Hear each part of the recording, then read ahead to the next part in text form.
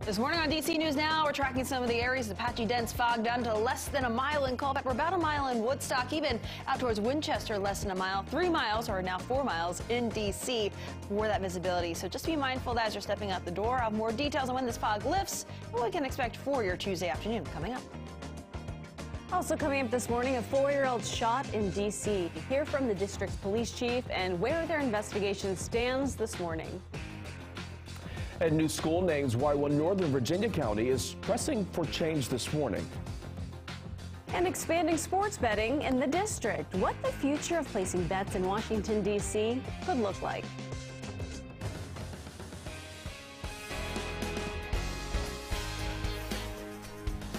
All right, it's 6 o'clock on this Tuesday morning. Thanks for joining us. I'm Corey James. Good morning. I'm Tanaya Wright. Meteorologist Jackie Layers has a look at our Tuesday forecast. And Jackie, it's a bit of a foggy and a drizzly start. Yes, we were tracking the fog and the mist out there this morning. Just be mindful that you may need the umbrella before you're stepping out the door. And not only that, leave a little bit of extra time to head out this morning and so that you can arrive to your destination safely, considering we are seeing some very low visibility. Leave a little bit of extra room for that following distance as well well. Down to about a mile of visibility in Frederick right now, but we're less than that in Culpeper as well as Winchester. About a mile in Woodstock and Keyser.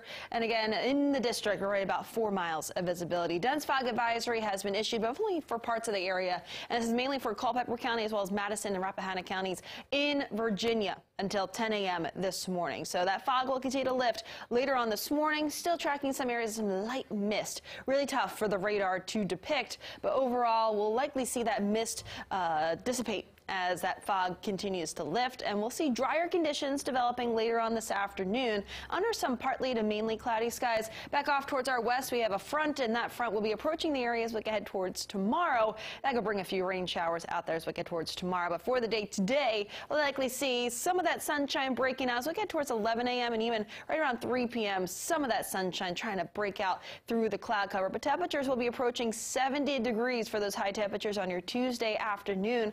Also low 70s for tomorrow, then a bit cooler, but at least more sunshine towards the end of the week. Uh, more details on that coming up. But right now, Shanika is here with the all-important traffic update. How's it looking out there right now? Well, it's not looking so great. We're looking at 95 heading southbound. This is coming out of Baltimore, heading toward our area in the Elkridge area. We have a serious crash and investigation, so that's why you're seeing bumper-to-bumper delays. Let's flip over to the map so you can see the mess we're dealing with this morning. This crash happened right between uh, Maryland 195 and 100. So you can see a lot of congestion build up closer to the point where you're shut down completely. That crash happened right before Maryland 100. So again, I would avoid 95 heading southbound. Coming from Baltimore, trying to get to our area, of course. BW Parkway, you're seeing bailout traffic. Many people are using BW to get heading southbound over to the district or to Maryland. Looking at the rest of our region, that outer loop stretch you're dealing with another incident.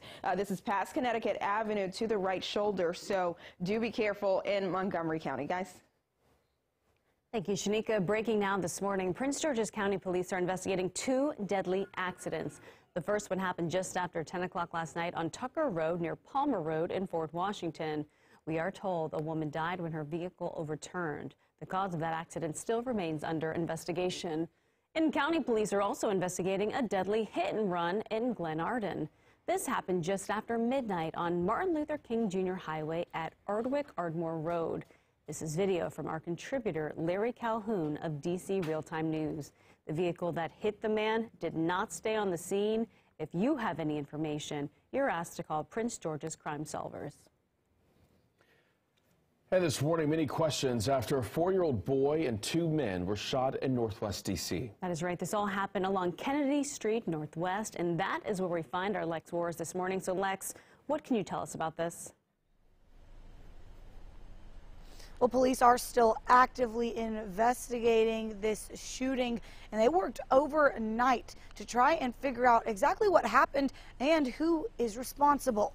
Now, the shooting happened around 6:30 in the evening yesterday. Police were called to the area, and they found two men by a vehicle, both with gunshot wounds. Those men were involved in some sort of shooting that happened back and forth between a other people. And during that shooting, a four year old boy was hit. Chief Contee says that a family member took that boy to the children's hospital. Now, good news here is all three people are expected to be okay, but we did see an emotional police chief as he discussed the details honestly, you know, this is the type of thing that you see when people recklessly use firearms in our streets. A four year old, unintended, who had nothing to do with this, gets injured by someone else's reckless behavior. And one of those men who was shot is being placed under arrest. Of course, as we find out more information about who that is and any other suspects that are named or arrested, we'll bring you that both here and online. Right now, investigators are also combing through surveillance video of surrounding area as well as from people's doorbell cameras and they are asking folks in the neighborhood to be checking their cameras as well and report anything they find to the police. As we find out more information about the investigation, we'll bring it to you both here and online. Live in Washington, Lex Juarez, DC News Now. All right, Lex, thank you. Your time right now is 6.05 this morning. One person is recovering after being shot near a Northern Virginia shopping center. This happened on Little River Turnpike in Fairfax County just before 6 o'clock last night. Right now, no word on the shooter. We're also working to learn more about the victim and their condition. And this morning, Montgomery County police are searching for two suspects who they say opened fire in downtown Silver Spring. Bullets hit a business and car yesterday morning. It happened near Veterans Plaza and the Civic Center. Surveillance video showing a man pointing a gun before running out and later coming back. A second suspect is captured racing down the stairs holding a backpack. If you have any information about either suspects, you're asked to contact Montgomery County Police. And covering the district this morning, a new bill has been introduced that could expand sports betting. The legislation was put forward by Council member Elissa Silverman yesterday. If approved, it would pave the way for companies like FanDuel and DraftKings to launch mobile apps here in D.C. Right now, gamblers in the district can only use one app, GambetDC. The app is operated by the DC Lottery and Gaming, and has received criticism since it first launched. GameBet crashed on Super Bowl Sunday and lost revenue in its first year of operations. If we're going to have a legal sports betting program, let's have it generate revenue. We would take the approach that Virginia's uh, taken and Maryland is going to take very soon, which is we would just tax the revenue of those mobile apps. The proposed bill would terminate the contract with GameBets DC's developers when it expires in 2024. We have reached out to DC Lottery for a comment, but we have not yet heard back. And happening today, the Loudoun County, Virginia School Board is set to review the names of nine of its schools. Among the reasons for changes are connections to Confederate leaders. If the schools are renamed, the community would be invited to offer suggestions. The board says it wants this to be a teaching moment for all students. And this morning, athletic events are canceled at Stafford High School in Northern Virginia. Now, Stafford County School says other after school activities will be back on today. This all comes after 670 students were out sick on Monday and more than 1,000 students were out sick on Friday. Today's games are canceled, but student athletes will be able to attend their practices. A spokesperson for the school says multiple sick students tested positive for the flu, while others were reporting stomach issues. Now, the school system will reevaluate activities again later this week. And new data shows Virginia's fourth and eighth grade students took another step back in reading and math this year. According to the nation's report card, this follows national trends. However, Virginia saw steeper drops than many other states, with fourth graders dropping below the national average in reading scores.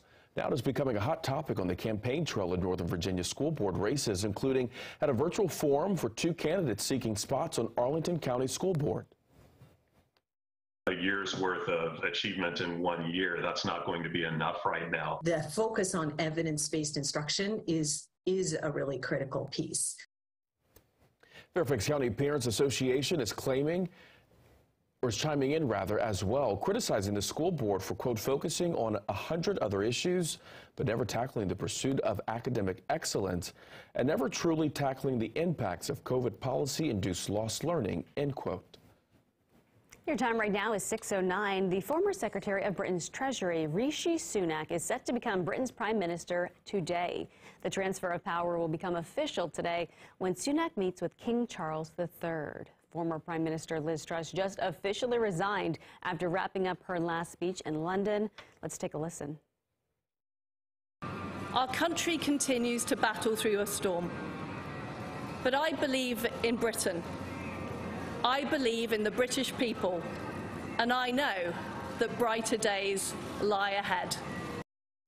Sunak is set to deliver his own remarks sometime later today. He will become the country's first prime minister of color, as well as the first prime minister of Hindu faith.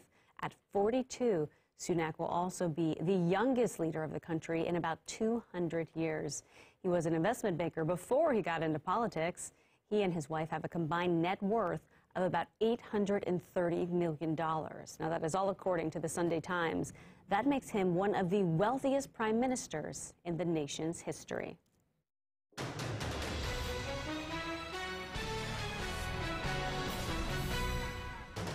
And your time right now with 610. We are your local election headquarters and big deciding factors tonight ahead of the Pennsylvania Senate debate. Current Republican Senator Pat Toomey is retiring after this term, and the race could flip or keep key seats in the Senate. Now, Republican candidate Dr. Mehmet Oz and Democrat Lieutenant Governor John Fetterman will take the debate stage tonight in Harrisburg. This morning, polls from CNN show Fetterman with 51% support, while Oz is expected to trail behind with about 45% of the vote. We, of course, will have the debate pre-show here on DC News Now tonight at 7.30. We'll also have the Senate debate live tonight that starts at 8 o'clock.